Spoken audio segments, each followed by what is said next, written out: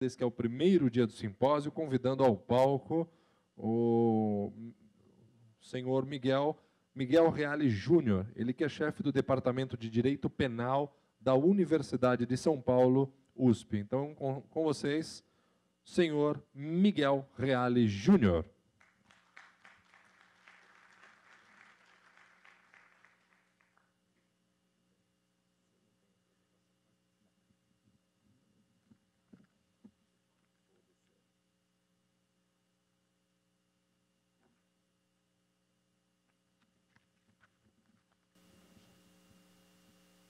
Queria inicialmente cumprimentar o professor Carline, que aí está, que é o meu mestre, com o qual trabalhamos juntos já há quase 30 anos no Conselho Federal de Entorpecentes e que realiza um trabalho extraordinário é, no campo da análise da questão das drogas psicotrópicas é um mestre de todos nós, diretor do CEBRID, organizador deste quatro, quarto encontro internacional. A temática que me foi proposta é da maior importância e do maior relevo. Vou iniciar lhes dizendo o que constitui um fato delituoso, para depois examinar se haveria ou não proximidade de identificação, proximidade, semelhança entre a utilização de drogas psicotrópicas, dentre elas a cannabis, para fins terapêuticos. A, a lei penal, quando estabelece a descrição de uma conduta delituosa, ela não vai, o legislador não toma isto é, do nada. O legislador toma isto da realidade. O legislador traduz de forma paradigmática, modelar, uma conduta. Eu diria que a construção se faz da seguinte forma: do abstrato, do abstrato ao real, ou seja, parte do abstrato, parte do real ao abstrato, do abstrato ao real. Isso quer dizer o seguinte: na construção da descrição de uma conduta como delituosa, o legislador vai observar a realidade, vai conhecer essa realidade, vai descrever de esta uma conduta que se apresenta de forma paradigmática, é um modelo. Então, ele vai ao real e a partir do conhecimento do real, ele constrói uma descrição de uma conduta, que é o abstrato, que se destina a voltar ao real, ou seja, voltar a uma conduta particular que virá a ser praticada posteriormente. Então passa, passa, portanto, do real ao abstrato, do abstrato ao real. E o que caracteriza essa conduta que é praticada? É a sua intencionalidade. Não é apenas o dado objetivo da conduta que está que é, que é relevante. O que é relevante é que aquela conduta que está sendo realizada, o seja buscando uma finalidade que é a finalidade que se incorpora a essa conduta paradigmática. Ou seja, nós agimos sempre de, com um objetivo, com uma finalidade. Todas as nossas ações são finais. Nós escolhemos a ação para alcançar um determinado fim. As nossas ações são realizadas com vistas a represervação de um valor ou com vistas à violação de um valor. As condutas, portanto, são finais. As condutas não são causais, são finais. A finalidade é a característica da conduta humana. E essa finalidade não é uma finalidade apenas uh, uh, inodora, incolor. Quero matar alguém. Quero matar alguém com menosprezo ao bem jurídico vida, com menosprezo ao valor vida quero furtar alguém, quero subtrair de alguém um objeto com desrespeito ao valor do patrimônio. Toda conduta é iluminada por uma posição valorativa, de negação de um valor ou de afirmação de um valor. Então, isso é o núcleo do, do direito penal, é uma conduta final que se realiza com vistas à violação de um determinado valor, com vistas a uma, à, à consecução de uma determinada finalidade. Este é o ponto essencial. Vamos tomar a seguinte, seguinte exemplo, que parece muito importante. Uma incisão cirúrgica feita por um médico é uma lesão corporal. Faz uma incisão. Quem faz uma operação de safena faz uma incisão no peito, abre as, as costelas, abre as costelas, retira o coração, faz uma inserção de, de, de, de safena, reconstrói, houve uma incisão que se constitui numa lesão, numa violação da integridade física, aparentemente. Mas qual foi o fim que iluminou essa conduta? Não foi a violação da integridade física. Pelo contrário, violou-se a integridade física para salvaguardar a integridade física. Violou-se, corta-se o peito de uma pessoa, retira-se-lhe o coração para lhe devolver a vida correta. Portanto, Vejo como o que importa é a finalidade. Qual é a finalidade do cirurgião ao fazer uma incisão cirúrgica? A finalidade dele não é violar a integridade física e sim proteger a integridade física. Portanto, o aspecto objetivo da conduta diz pouco. A conduta só vai ter significado quando se unir o aspecto objetivo e o aspecto subjetivo. E o aspecto subjetivo não é apenas o querer, mas é o querer significativo. Não é querer a incisão cirúrgica, mas é querer a incisão cirúrgica ou para lesar, pode haver isso, pode haver a intenção de cortar o peito para fazer efetivamente uma, uma ferida e violar a integridade física, e pode cortar o peito para proteger a integridade física. Portanto, não é um querer puro e simples, mas é um querer dotado de significação axiológica, dotado de significação valorativa. Este é o dado absolutamente fundamental. Agora, se este é o dado fundamental, como vamos transpor esse, esta realidade do, do direito como é, descrição de uma conduta é, que está é, dirigida por uma intencionalidade significativa no campo do uso ou do porte de substâncias psicotrópicas para uso próprio ou para uso de terceiro. Ora, se a finalidade, se o que se pretende proteger, e aí há uma larga discussão, seria a saúde pública ou seria a saúde da própria pessoa, evitando que ela venha a ser um consumidor de substâncias psicotrópicas,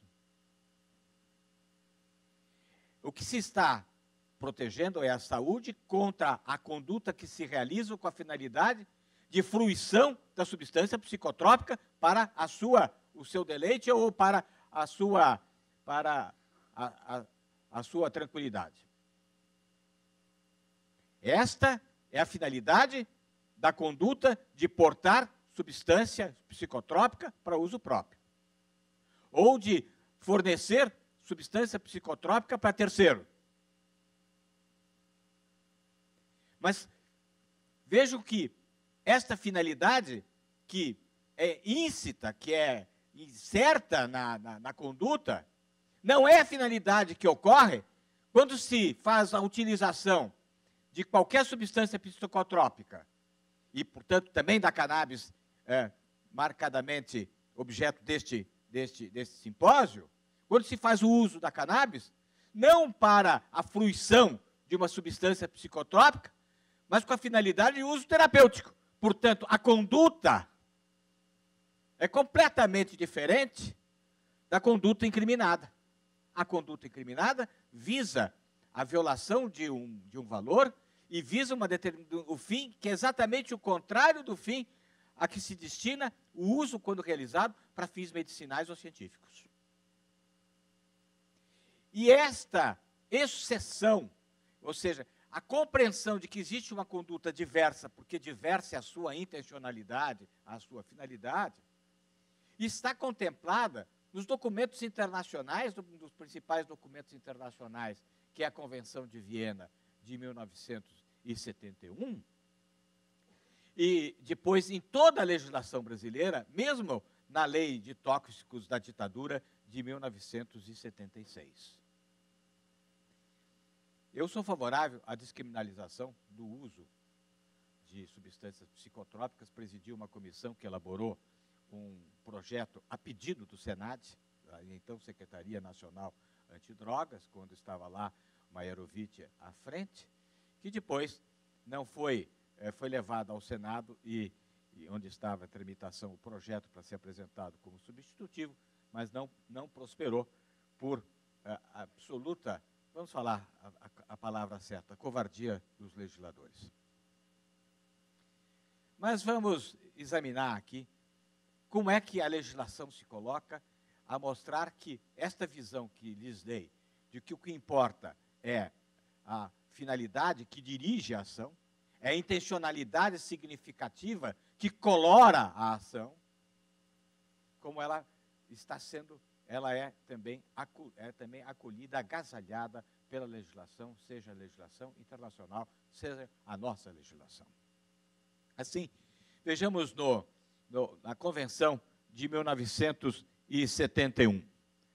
Na Convenção de 1971, no artigo, no artigo 7 né, é, estabelece que os Estados partes deverão proibir o uso, é, o uso de substâncias é, da lista 1, das substâncias psicotrópicas, exceto, artigo 7 letra A, exceto para fins científicos e para fins médicos muito limitados.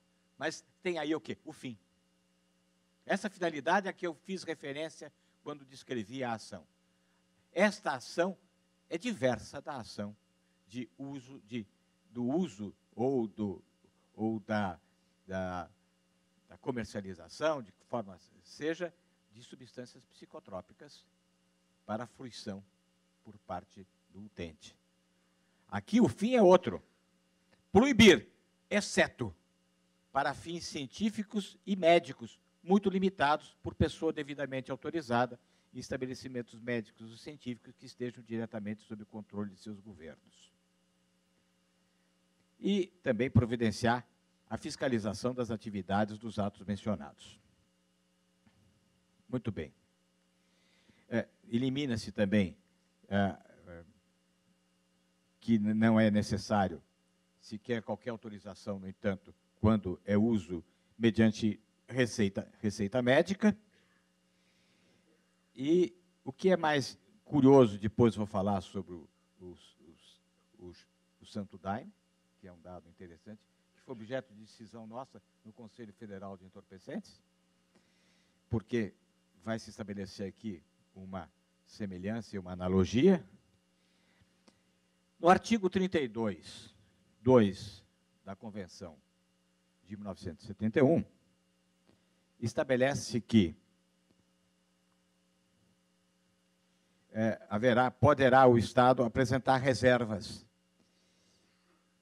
E no inciso 4 do artigo 32 diz: o Estado em cujo território cresçam plantas silvestres que contenham substâncias psicotrópicas, dentre as incluídas na lista 1, e que são tradicionalmente usadas, utilizadas por pequenos grupos, nitidamente caracterizados em rituais mágicos ou religiosos, poderão, no momento da assinatura da ratificação, formular reservas. E o próprio Estado podia formular reservas com relação à utilização por grupos eh, limitados em rituais de ordem religiosa. Portanto, mostra a importância da finalidade. A finalidade não era para a fruição, mas sim estava inserido num ritual eh, e numa cultura visando a realização de atos de cunho religioso e se autorizando que o Estado faça reserva com relação a isto para a preservação cultural das suas, das suas populações. Portanto, é a finalidade. A finalidade não é, é uma finalidade principalmente de atendimento a rituais de cunho religioso. E por isso, aliás, o, o Conselho Federal de Entorpecentes, depois a, a Senad e, a, e, agora o CONAD, é, estabeleceram a legitimidade, a licitude, a licitude da utilização do chá de, do Santo Daime. Mas, é, posteriormente, a, a, Convenção de 1971, já durante a ditadura militar, quando se fez um endurecimento, eh, o primeiro endurecimento com relação ao uso de e porte de, entorpecente, surge a Lei 6.368, de 1976, e mesmo nesta lei de 1976 da ditadura, se estabelece também essa exceção.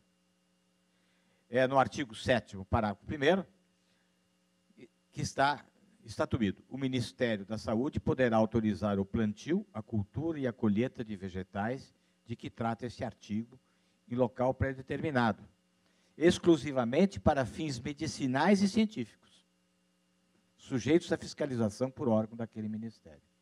Portanto, está excluído aqui a criminalização, podendo haver autorização do Ministério da Saúde para que haja, com relação a qualquer substância psicotrópica, desde que, desde que constatado os efeitos terapêuticos dessa substância, pode, podia o Ministério, de acordo com a lei de 1976, é, é, estabelecer que houvesse cultura e colheita de vegetais para fins medicinais ou científicos.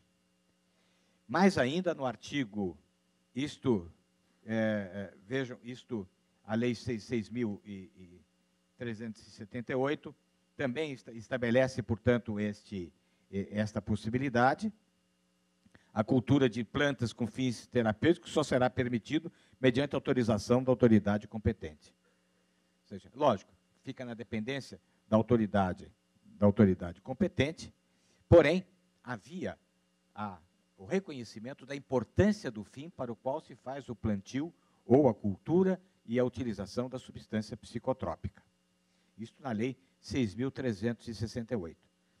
Estabelecia-se também que ficava dispensada a exigência prevista do parágrafo anterior, aquisição de medicamentos mediante prescrição médica, mas não como depois ficou no projeto que nós fizemos também, que de, independe, independeria de autorização, de autorização é, é, específica o plantio para fins terapêuticos. Eu vou examinar isso logo em seguida.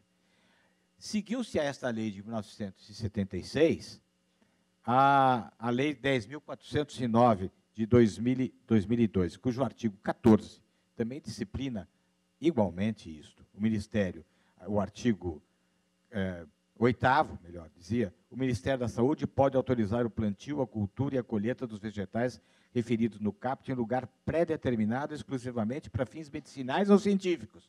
É o parágrafo 1 do artigo 8 da Lei 10.409 de 2002. Sujeitos à fiscalização e cassação da autorização a qualquer tempo. Portanto, vejam, ficava dispensada também a aquisição de medicamentos mediante prescrição médica de acordo com os preceitos relegais e regulamentares. Posteriormente, vem a legislação recente de 2006, que é a Lei 11.343 e 5.912, que é o regulamento que regulamenta a lei, esta lei. É, no artigo, nesta lei 11.343, que está em vigor, que é a lei que rege a matéria, né, hoje está estabelecido no parágrafo único do artigo Parágrafo único do artigo 2 Pode a União autorizar o plantio, a cultura, a colheita dos vegetais referidos no caput deste artigo, exclusivamente para fins medicinais ou científicos, em local e prazo determinados mediante fiscalização. É curioso que se estabeleça também aqui, no artigo 2 no caput, no artigo 2 que ah, ficam proibidas as drogas, o plantio, a colheita e tal, é, estabelece-se uma ressalva, a ressalva de autorização legal ou regulamentar, bem como que estabelece a Convenção de Viena das Nações Unidas sobre substâncias psicotrópicas a respeito de plantas de uso estritamente ritualístico ou religioso, que é o problema do Santo Daime. A própria, a própria legislação faz referência à Convenção de Viena de 1971, a que me referi logo no início da nossa fala, que estabelece a possibilidade de um país fazer ressalva com relação à utilização de alguma substância para fins religiosos e ritualísticos. O Brasil não fez essa ressalva quando aprovou a Convenção de 1971. Independentemente de não ter sido feita essa ressalva, nós, no Conselho Federal de Entorpecentes, entendemos que devíamos, devíamos, devíamos é, não orientar no sentido da, da inscrição da, do, da, do, chá do Santo Daime dentro da lista de substâncias psicotrópicas proibidas. E o, o Conselho, o Conselho de Entorpecentes, depois o CONAD, ou agora o CONAD, por várias circulares, estabeleceu um grupo de, um grupo de trabalho que conclui exatamente no sentido, conclui exatamente no sentido da não inscrição, da, da, da legitimação do uso do Santo Daime como é, substância a ser consumida durante rituais de cunho religioso. E estabelece também que, para fins terapêuticos, que existe também a utilização do chá da ayahuasca para fins terapêuticos, que depende do reconhecimento, que a utilização para fins terapêuticos dependerá do reconhecimento da eficiência, da eficácia terapêutica do chá do Santo Daime. Portanto, o que é fundamental, o que é importante é que exista o reconhecimento, que exista o reconhecimento da eficácia da substância para fins terapêuticos.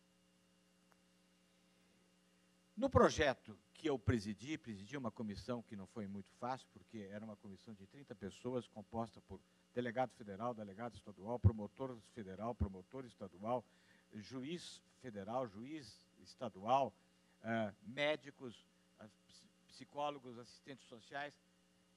Imagine o que é presidir uma comissão para tratar de drogas, escrever uma lei de drogas com um, um, um, uma população tão heterogênea. É? Pois bem, mas foi feito um projeto.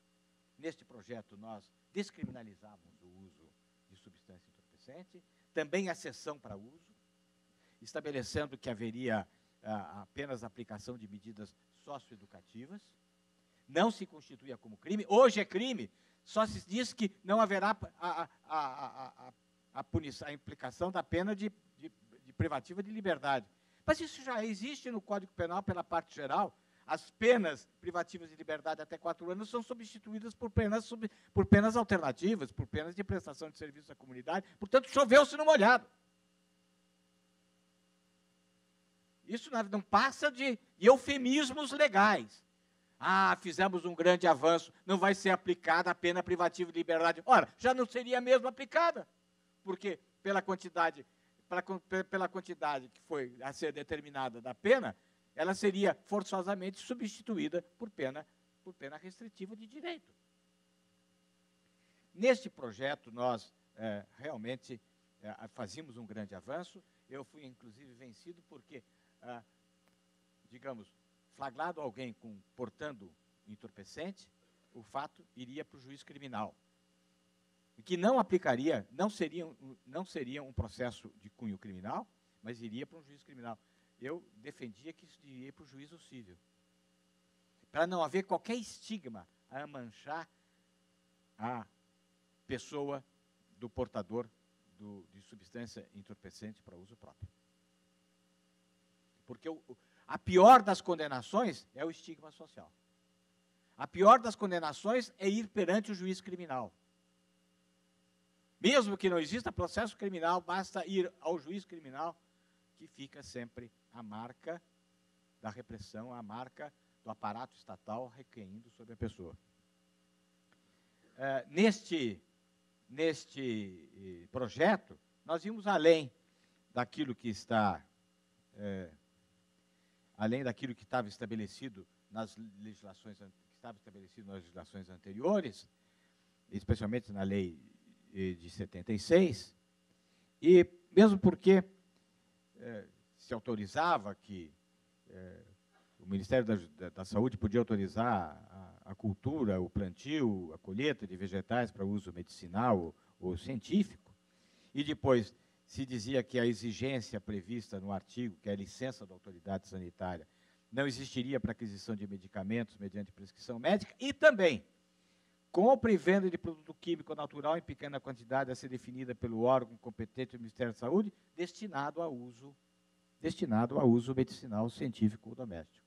Portanto, se autorizava também, independentemente de autorização, como permanecer e permanece na legislação de hoje, se autorizava a compra, venda para fins eh, medicinais. Evidentemente, essa legislação ainda, eh, eh, eu espero que ela venha a ser adotada com a, com a previsão de medidas socioeducativas e não medidas de ordem criminal, não um processo criminal, a descriminalização do, do porte de substância entorpecente. Mas é, isto é uma conversa a ser é, projetada é, para o futuro. O que importa? O que importa saber é: e se não houver autorização do Ministério da Saúde para o plantio, a colheita e o uso de substância entorpecente ou de substância psicotrópica para fins medicinais, para fins científicos? Se houver autorização, quem realiza, quem uh, utiliza esta substância, quem planta, quem colhe, quem utiliza a substância, está uh, salvaguardada no âmbito da licitude, porque está no exercício regular de um direito que lhe foi concedido. Mas o problema não é se tiver ocorrido a autorização do Ministério da Saúde. E se não tiver ocorrido autorização do Ministério da Saúde? Haveria crime? Porque o Ministério da Saúde não concedeu a, autorização para o, a colheita, o plantio e a utilização dessa substância psicotrópica para fins terapêuticos? Não. Não. Por quê? Porque se constitui aí a não configuração típica da conduta. Porque quando eu. Lembrem, no início eu disse: o que é o tipo? O tipo não é apenas a descrição objetiva de uma conduta. Plantar, colher, utilizar substância psicotrópica. Mas é essa conduta destinada à fruição da substância psicotrópica si, para si mesmo, independentemente de qualquer outro fim que esteja além, portanto, fim científico e especialmente fim terapêutico. Quando se tem o fim terapêutico, não existe adequação entre essa conduta e a conduta que está descrita como crime. Aquilo que se chama uma ação socialmente adequada. O exemplo cirúrgico é bem claro. Ou seja, ninguém pensa de processar o professor Jatene porque ele diariamente abre o peito de não sei, diariamente abre o peito de uma ou duas pessoas para fazer uma safena. Por quê? Porque a finalidade com que ele atua ao fazer a incisão é, a é uma finalidade reconhecida como válida pela sociedade. É, uma, é a finalidade que o próprio direito busca salvaguardar, que é a integridade física. Pode-se imaginar que exista um crime contra a saúde pública, contra a saúde do, do usuário, quando se faz a utilização de uma substância psicotrópica, seja ela qual for, especialmente as experiências que são feitas positivas com a cannabis, para salvaguardar a mesma saúde que se diz que está sendo prejudicada pelo uso da substância cannabis? O que prevalece não é o dado objetivo da conduta, mas o dado subjetivo da conduta na sua finalidade. Ou seja, se faz o uso da cannabis para fim terapêutico. Portanto, se é para fim terapêutico, é para preservação da saúde e não em prejuízo da saúde, que é o bem jurídico que se pretende tutelar ao se incriminar o uso de substância entorpecente. Portanto, a meu ver, independe para a não configuração do crime da concessão de autorização pelo Ministério da Saúde. Porque a conduta em si mesma, ela é atípica. Ela não se adequa ao tipo penal. É uma conduta socialmente adequada. Mas seria uma conduta, inclusive, podia-se dizer até, em estado de necessidade, porque é para salvaguardar um bem maior que se viola um bem menor.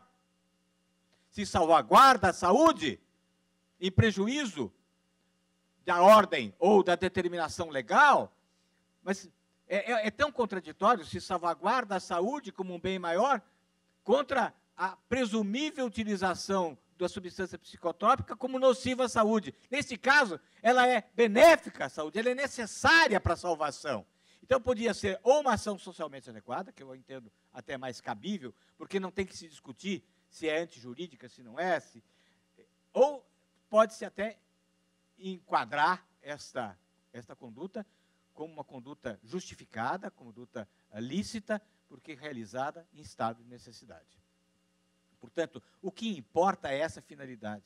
A própria lei já ilumina essas questões, desde a lei, desde a Convenção de 1971, depois a lei de 76, a lei de 2002, a lei de 2006, o regulamento agora de 2006, todas, todo esse conjunto legislativo destaca o fim terapêutico. Agora, esse fim terapêutico não vai existir porque o, o Ministério da Saúde diz que autoriza que se utilize. Esse fim terapêutico existe em si.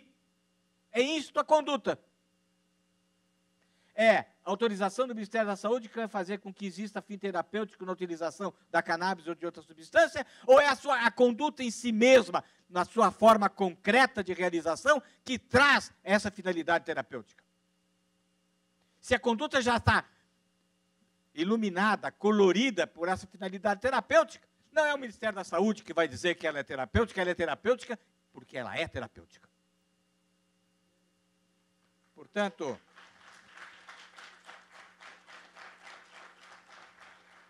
Portanto, fico aqui essas considerações, agradecendo e cumprimentando o meu mestre, professor Carline, que eu tanto admiro, tanto tempo, tudo que ele realiza através do SEBRID, tudo que ele realiza através de uma vida eh, de dedicação científica primorosa. Muito obrigado.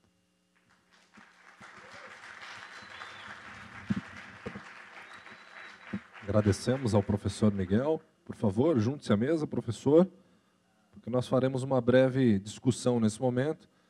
Infelizmente, o tempo está super escasso. Três perguntas. Então, por favor, ixi, já tem três perguntas. Pronto. Já, já temos as três perguntas, as recepcionistas já estão descendo. Isso.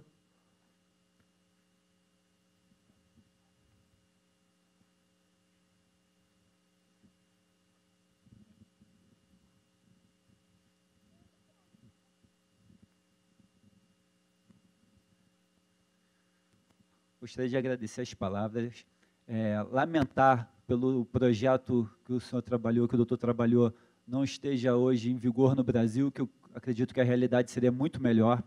E o, o doutor falou que a convenção prevê finalidades médicas bem limitadas. Quando a gente fala de saúde, qual é o limite? A OMS fala que saúde é um estado de, de bem-estar geral. Então, é, quais são essas pequenas limitações? Até onde a sociedade deve permitir o uso medicinal na sua visão?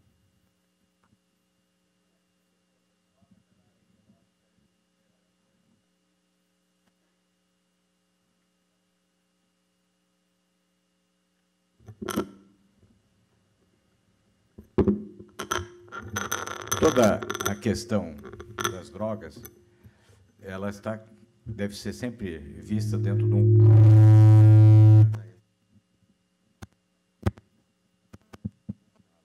Vai bem? Isso vai bem agora. Então. É, é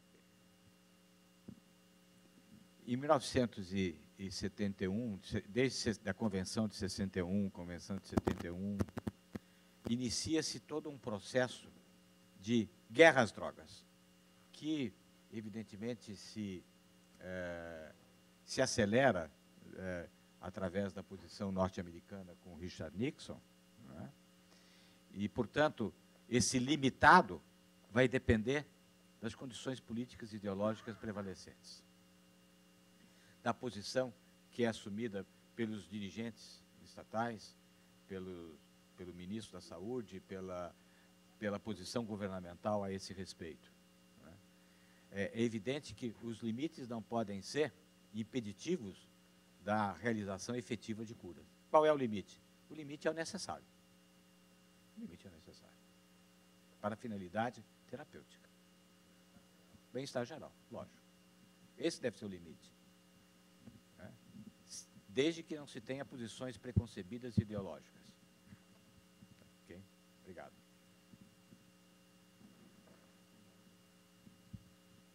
Boa tarde. É, meu nome é Cassiano, eu sou estudante de Direito, sou seu fã, já li seus livros.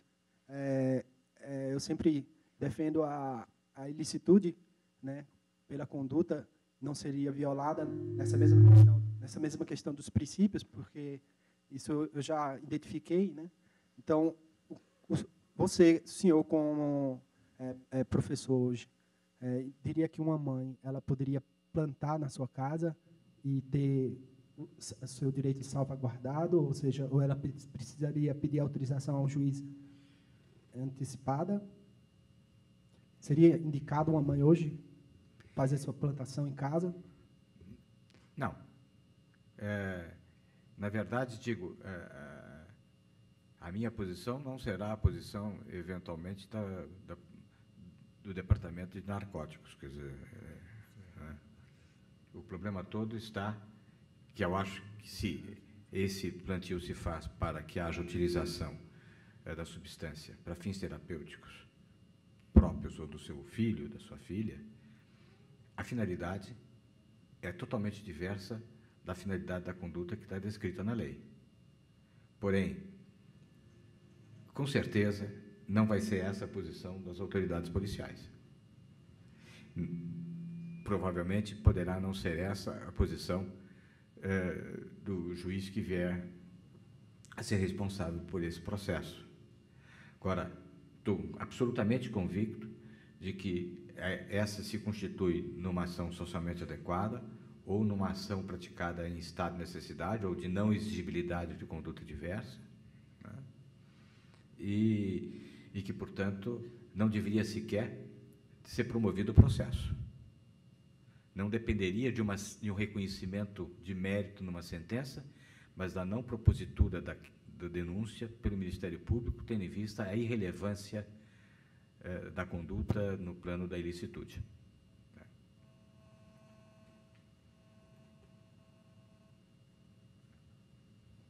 duas perguntas. É, meu nome é Celi Cavalari, eu sou psicóloga da Brande da Reduc. Na época da redução de danos, a Holanda distribuiu seringas e não teve epidemia, porque não teve cruzamento de transmissão sanguínea com sexual.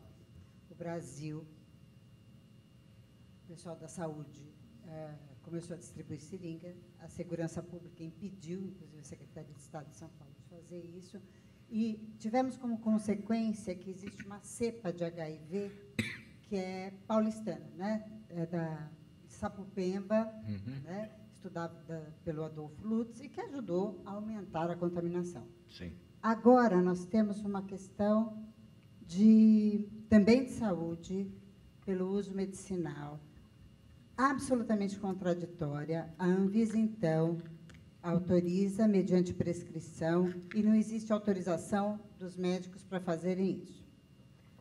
Uh, como existe uma regulamentação para o café, que alimentos com café. O café não é uma substância totalmente uh, liberada, ela é regulamentada e, até onde eu sei, quando fui conselheiro do Conselho Estadual de Entorpecentes, era com uh, até 4% de café que isto pode entrar como alimento no país.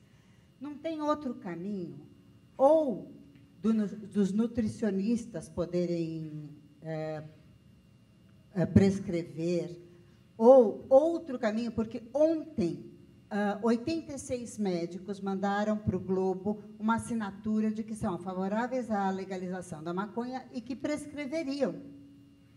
Agora, não tem outro caminho. A OAB não pode processar o Conselho Federal de Medicina por omissão de socorro, porque isso é um despautério que está acontecendo. A Anvisa tem a liberação e o Conselho Federal de Medicina não deixa. Como assim?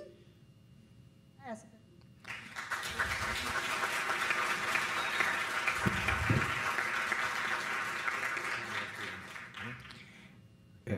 Primeiro, o problema da redução de danos, que foi uma larga discussão nessa comissão e que nós adotamos a redução de danos nesse projeto. Foi uma grande discussão e, e, e realmente era, era um avanço, acho que a parte do projeto mais assustadora, vamos dizer assim, era a da adoção da redução de danos. Ou seja, há tantos responsáveis que colocam ideias preconcebidas, ideologicamente estabelecidas em prejuízo da sociedade, né? é, basta ver quantos são os jovens que foram presos, condenados por porte de entorpecente para uso próprio, ou que cederam para, para alguém substância entorpecente, e que estão hoje marcados pelo estigma da condenação criminal. Então, muitas responsabilidades podem ser estabelecidas. É inacreditável que o Conselho Federal de Medicina queira se sobrepor à, queira se sobrepor à realidade que está estabelecida, seja pelo atendimento da finalidade terapêutica, porque essa é essa é, esta é a vocação médica, a vocação médica é, é a terapêutica. E se a utilização é para fim terapêutico, como é que o Conselho Federal de Medicina é, proíbe a utilização terapêutica, que é o fim vocacionado dos seus membros? Ou seja, é uma contradição. É, medidas poderiam ser, ser tomadas é, com relação aos médicos que pretendem usar é, é, fazendo prescrições de utilização de cannabis ou de outra substância é, para fins terapêuticos, é, de forma preventiva, contra o processo disciplinar que o Conselho Federal de Medicina pretende instaurar. Ou seja, é uma imensa contradição. O Conselho Federal de Medicina está incrustado em, em posições ideológicas sem atender a, ao aspecto concreto, ou seja, a utilização não está sendo feita para a, é, a, é, divulgação da cannabis, mas está sendo feita para utilização específica terapêutica. Portanto, é, é uma contradição. Eu não sei que, agora, de plano, que medida poder-se-ia tomar contra o Conselho Federal de Medicina, só posso dizer que é inaceitável a posição do Conselho Federal de Medicina.